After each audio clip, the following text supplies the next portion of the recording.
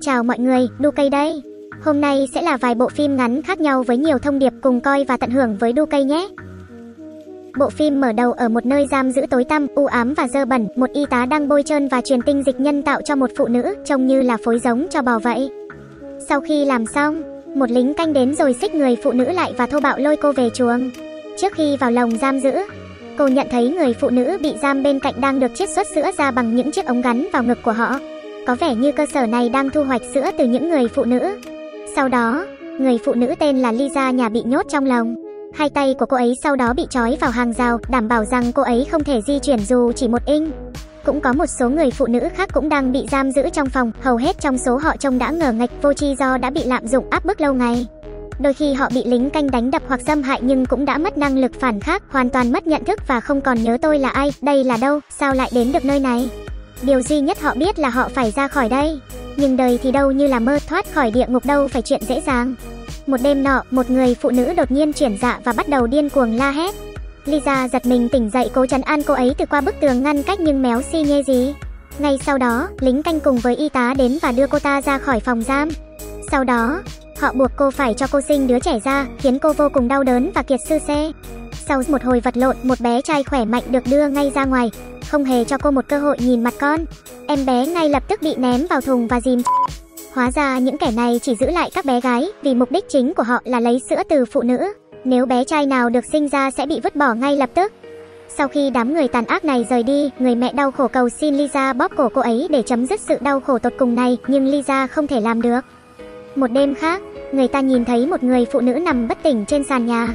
Một tên lính canh đến và ra lệnh cho cô đứng dậy, nhưng cô ta nói còn không nổi chứ nói gì đứng dậy. Hắn ta tức giận, đùng đùng sát khí đến tóm lấy cô và lôi qua phòng khác có thể là để cô. Lisa chứng kiến tất cả những điều này liền kinh hoàng tuyệt vọng. Cô sợ rằng mình cũng sẽ không bao giờ sống sót ra khỏi nơi này và nhận kết cục tương tự. Tuy nhiên, ngày tháng trôi qua cô ấy dần hết sợ hãi và bắt đầu lên kế hoạch trốn thoát. Một ngày nọ, cô ấy giả vờ bị đau bụng để dụ một tên bảo vệ đi đến chỗ mình. Ngay khi anh ta mở cửa, cô ta bất ngờ tung cẳng chân đá bay tên bảo vệ ra chuồng gà, khiến anh ta bất tỉnh. Những người phụ nữ khác thấy vậy liền phấn khích vô cùng trước cuộc tấn công và họ bắt đầu gieo hò cổ vũ Lisa. Vì vậy, với ánh mắt căm thù, cô quyết định cầm lấy con dao tiễn hắn ta lên bàn thờ ăn chuối xanh. Sau đó cô ấy lấy chìa khóa của hắn và mở cửa giải thoát cho tất cả những người phụ nữ khốn ở đó. Nhưng ngay lúc này, cô nghe thấy ai đó đang đến gần nên liền trốn sau cánh cửa. Đó là một người bảo vệ khác, hắn ta đến để kiểm tra vì nghe thấy tiếng ồn. Khi nhìn đồng nghiệp đang nằm trên sàn hấp hối, hắn ta đờ người, sợ xanh mặt. Đột nhiên, Lisa tấn công từ phía sau siết cổ hắn bằng dây xích kim loại và siết hắn ta đến cùng. Sau đó, cô ấy đưa chìa khóa cho một người phụ nữ đang bị nhốt và rời khỏi căn phòng này. Bước ra ngoài, Lisa đi qua một hành lang dài với nhiều cánh cửa ở hai bên. Khi lướt qua từng khung cửa kính, cô ấy thấy những cảnh tượng kinh hoàng. Qua một ô kính, cô chứng kiến cảnh một lính canh giết một phụ nữ một cách dã man. Ở ô cửa khác, cô nhìn thấy hàng trăm phụ nữ bất tỉnh đang bị trói vào ghế và được lắp các ống hút sữa vào ngực và bị hút sữa ra ngoài. Sợ thụt lòn nên Lisa ngay lập tức ra khỏi hành lang và bước vào phòng tiếp theo. Ở đây cô gặp một cô gái trông có vẻ sợ hãi. Hình như cô ấy được sinh ra ở nơi này từ một trong những nạn nhân nơi đây.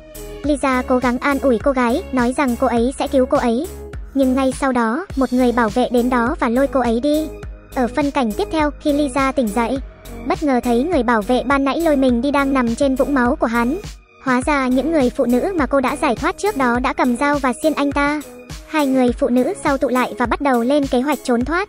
Họ biết rằng đó là một nhiệm vụ cực kỳ khó khăn, có thể sẽ bỏ mạng nơi đây, nhưng ở lại thì sống không bằng chết. Chẳng còn gì để mất nữa, họ sẵn sàng cháy hết mình. Ngay sau đó, bà y tá lúc nãy bước vào phòng để kiểm tra bệnh nhân. Khi cô quay lưng lại, hai người phụ nữ đã túm lấy cô ta và cắt mẹ cái lưỡi của à. Sau đó, họ nhốt cô ta vào trong một chiếc lồng để đảm bảo cô ta không thể trốn thoát hay la hét. Trong cảnh cuối cho ta thấy được mục đích thực sự của nơi tàn ác này. Hóa ra họ thu hoạch sữa của phụ nữ để sản xuất một loại kem trộn miền Tây tên Lactic Vitae. Kem trộn này hứa hẹn bao trắng bao trẻ hóa làn da của chỉ trong vài giờ đồng hồ, điều mà các công ty mỹ phẩm khác méo có cửa để cạnh tranh với kem trộn. Bộ phim này cũng dựa trên các sự kiện có thật trong đời sống. Hàng triệu con bò bị giết thịt trên khắp thế giới, chúng bị đối xử rất vô nhân đạo tàn nhẫn. Chúng bị ép đưa đến một trại, chúng được thụ tinh nhân tạo bằng cách bơm ống xi lanh trà bá như đầu phim ta thấy, được cho rất ít thức ăn và luôn bị đánh đập và hành hạ. Những con bê đực mới sinh ra đều ngay lập tức bị trừ khử và cuối cùng chúng bị lên thớt khi không còn giá trị lợi dụng, không sản xuất thêm sữa được nữa. Mấy người thật tàn ác, con bò cũng là con người mà. Đến bộ phim thứ hai tên là Mặt khác của chiếc hộp ta thấy một cặp đôi tên là Ben và Rachel. Họ đang nấu bữa tối cùng nhau và vui vẻ nói chuyện.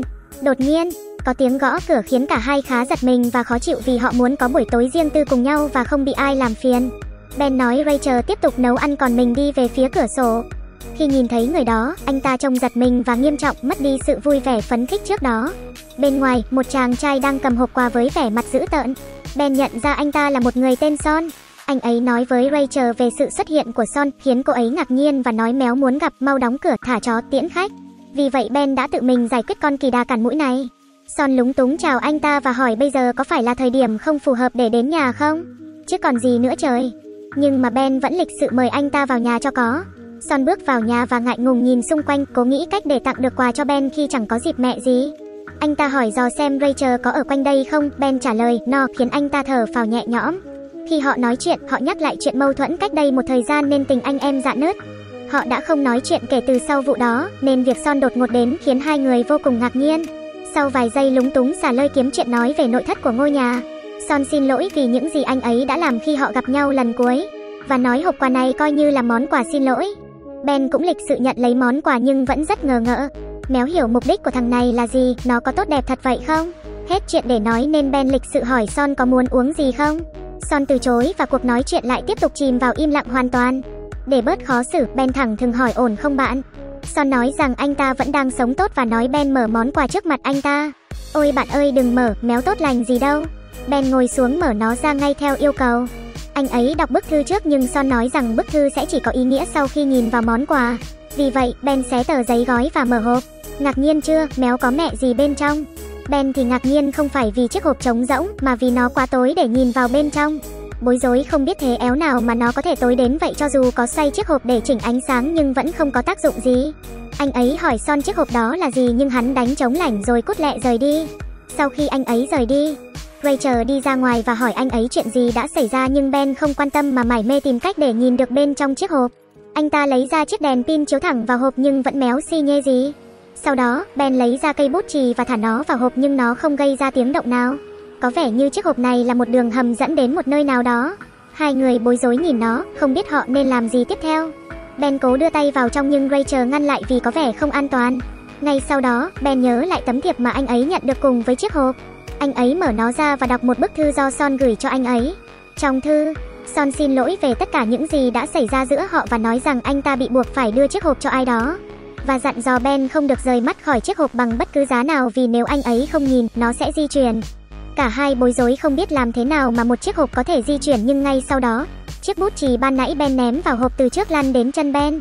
Khi anh ấy nhìn lại chiếc hộp, thì phát hoảng khi thấy một cái đầu đang nhô lên từ cái hộp chỉ lộ vùng đầu và mắt đang nhìn chăm chăm vào họ. Hai vợ chồng sợ lòi le nhìn nhau và cố gắng nói chuyện với người đó. Nhưng hắn ta không nói gì. Hắn chỉ nhìn chăm chăm vào họ với mồ hôi chảy dài trên mặt. Ben nhanh chóng gọi cho Son nhưng thuê bao quý khách vừa gọi tạm thời không liên lạc được. Vui lòng để lại lời nhắn sau tiếng bíp. Trong khi đó, Rachel cái đầu lạ lòn kia vẫn luôn không rời mắt khỏi Ben từ nãy giờ. Cô ấy chồng hỏi xem người đó muốn gì, nhưng chồng cô ấy cũng không biết gì như cô ấy. Sợ hãi, Ben cố gọi lại cho Son nhưng trong lúc đó, anh ấy nghe thấy Rachel cũng hỏi câu hỏi tương tự, khiến anh nhận ra rằng chiếc hộp đang khiến anh ấy nghe thấy mọi thứ. Tất cả những gì anh ấy nói vài giây trước đang lặp lại trong đầu anh ấy. Lo lắng rằng kẻ lạ mặt có thể sớm tấn công bất cứ lúc nào, Ben vội lấy chìa khóa chuẩn bị muốn lái xe rời đi cùng Rachel. Tuy nhiên, khi anh rủ cô đi, cô ấy không hề di chuyển và nói rằng họ phải luôn theo dõi chiếc hộp theo như tấm thiệp đã nói, nên việc để cái hộp lại và rời đi có thể rất nguy hiểm. Để kiểm tra xem điều gì sẽ xảy ra khi họ nhìn đi chỗ khác, họ quay về phía nhau trong vài giây đến khi nhìn lại, người đàn ông đã đặt mấy đầu ngón tay lên chiếc hộp, ngụ ý rằng anh ta đang cố gắng ra ngoài. Vì vậy, Ben yêu cầu Rachel ngồi trong chiếc hộp còn Ben đi đến chỗ của Son. Anh ta nói cô ngồi trên ghế và cầm một con dao phòng bất chắc. Mặc dù chuyện này vô cùng kinh dị nhưng Rachel vẫn cố dũng cảm làm theo và đợi Ben trở về. Trong cảnh tiếp theo, Ben cuối cùng cũng gọi được cho Son qua điện thoại và hắn giải thích rằng chiếc hộp đang nói với họ mọi thứ và một người sẽ bước ra khỏi đó. Son bị sốc vì anh ấy không biết chiếc hộp có thể nói được và lý do duy nhất anh ấy đưa nó cho Ben là vì anh ấy nghĩ Rachel không có ở đó. Khi phát hiện ra rằng Ben đã để Ray chờ một mình với chiếc hộp, anh ấy đã vô cùng hoảng sợ. Sau đó, nó được tiết lộ rằng vì chiếc hộp được tặng cho Ben nên nó chỉ không di chuyển khi anh ấy đang xem nó. Nhận thấy vợ đang gặp nguy hiểm, Ben vội quay xe về nhà. Son từ phía bên kia, hét vào mặt anh ta không được quay lại nhưng Ben không nghe. Cuối cùng khi anh ấy về đến nhà, căn phòng tối om và công tắc đèn bị hỏng. Anh ta soi đèn pin nhìn xung quanh và thấy chiếc hộp đã biến mất và không thấy Rachel đâu cả. Con dao cũng nằm trên bàn. Anh mở cửa tầng hầm và gọi cô. Cô ấy trả lời từ phòng ngủ và nghe có vẻ hoàn toàn bình thường. Khi cô ấy ngừng nói, Ben từ từ đi xuống cầu thang và vào phòng ngủ. Thế mèo nào căn phòng lại trống không khiến Ben sợ xanh mặt. Sau đó, anh nghe thấy tiếng động từ phòng tắm nên cẩn thận đi vào để kiểm tra. Anh ta nhìn thấy người đàn ông trong chiếc hộp hiện đã đang ở ngoài. Ben cố gắng không rời mắt khỏi ông ta nhưng lại bị giật mình vì nên quay đi. Người đàn ông kia biến mất trong tích tắc và giờ chỉ còn lại Ben nơi đây. Anh ấy nhanh chóng chạy lên lầu nhưng nhìn thấy bóng của một số người đang đi xuống phía mình.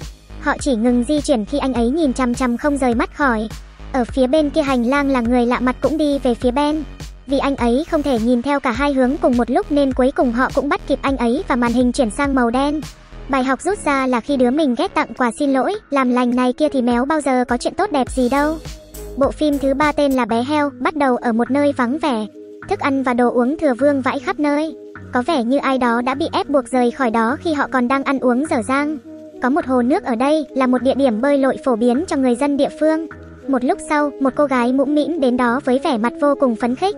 Cô ấy rất mong đợi được đi bơi trong cái thời tiết nóng như thế này thì làm sao phải mặc. Nhưng cô ấy cũng tự ý thức về ngoại hình chưa được tự tin của mình nên cô nhìn xung quanh và kiểm tra xem có ai ở gần không. Sau khi thấy rằng mình là người duy nhất ở đây, cô mời dám thay đồ bơi và tiến về phía cái bể.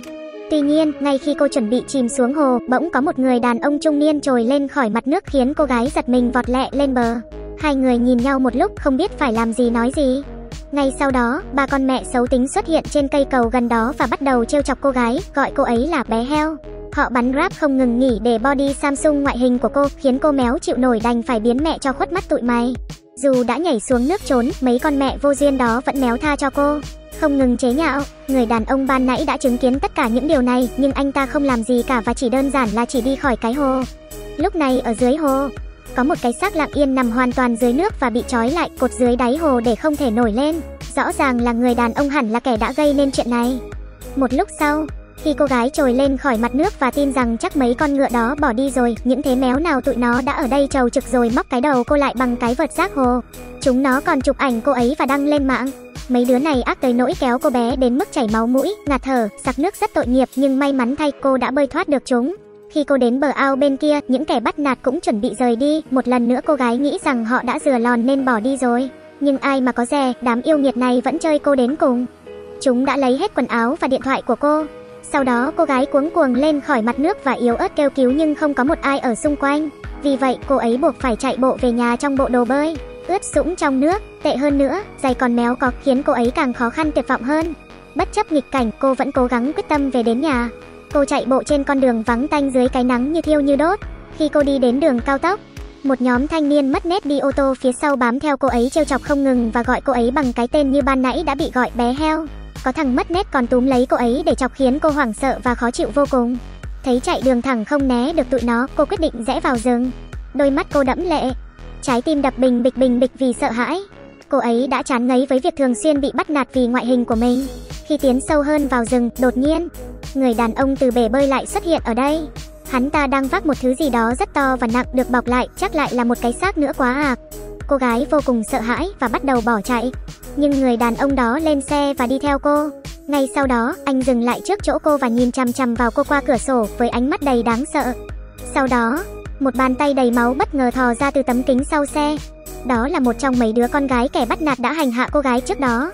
Cô ta máu me tè le be bét ra sức đập cửa kêu cứu. Lần này, cô ta còn bày đặt gọi cô gái mũ mĩm bằng tên thật là Sarah. Tuy nhiên, Sarah vẫn chưa hết hoang mang khi chứng kiến chuyện này. Cô đứng chết chân ở đó, không phản ứng lại tí gì. Người đàn ông thả cặp và đồ đạc bị lấy cắp ban nãy của cô ấy. Rồi hắn vẫy tay mến chào quý vị và các bạn. Cô gái lên đồ và ánh mắt cô lúc này đã trở nên mạnh mẽ và bất diệt. Thấy cũng tội mà thôi cũng nghệ, dừa lòn lắm mấy con đũy, luật nhân quả không chừa một ai. Và đó là nội dung của phim ngày hôm nay. Cảm ơn anh em đã xem hết video. Mọi người hãy để lại cảm nghĩ comment ở bên dưới. Và nhớ like và đừng quên đăng ký kênh Đu Cây Review Để có thể theo dõi và xem tiếp các video của chúng tôi nhé. Cảm ơn mọi người. Bye.